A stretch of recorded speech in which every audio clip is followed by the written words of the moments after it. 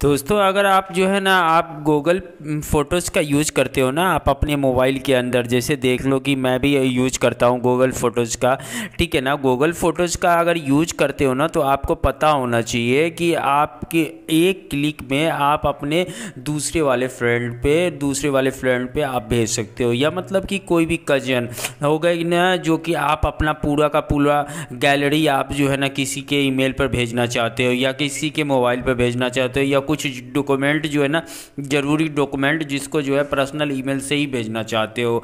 तो उसके लिए सिंपली आप व्हाट्सअप का यूज़ नहीं करना चाहते हो या कोई और ऐप का यूज़ नहीं करके आप चाहते हो ना कि गूगल फ़ोटो से ही हम भेज सके सेफ्टी से भेज सके, हमारा फ़ाइल सेफ्टी से चला जाए। तो उसके लिए सिंपली आपको करना क्या होगा? सो मैं आप लोगों को बता दूँ।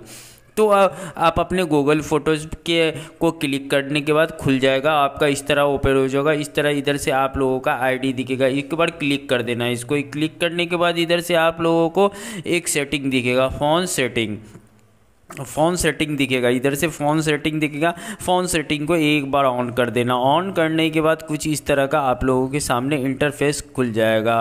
ठीक है, और उसके बाद यहाँ से आप लोगों को दिख जाएगा पार्टनर शेयर। इसको एक बार क्लिक कर देना। एक बार क्लिक करने के बाद कुछ इस तरह का इंटरफेस आप लोगों के सामने आ जाएगा। तो इस बार इधर से क्लिक कर देना। क्लिक करने के बाद यहाँ से आप देख रहे होगे, यहाँ पे डी ईमेल आईडी खोज रहा होगा। जिस भी आपको बंदे को, आपको ईमेल अगर फ़ोटो शेयर करना हो उस पर पूरा का पूरा गैलरी ट्रांसफ़र करना हो तो उसका ईमेल आईडी यहाँ पे डाल देना। ईमेल आईडी जैसे ही डालोगे तो सो फ़ोटोज़ कॉन्टैक्ट इसके बाद इसको ओके कर देना। ओके करने के बाद सिंपली मैं बता दूँ आपको, पूरा का पूरा डॉक्यूमेंट आपका पूरा का पूरा फ़ोटोज़ जो है ना दूसरे उस आपके जो है ना, दूसरे वाले पार्टनर के पास चला जाएगा।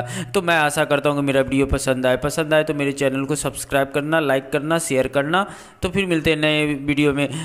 तब तक के लिए गुड बाय।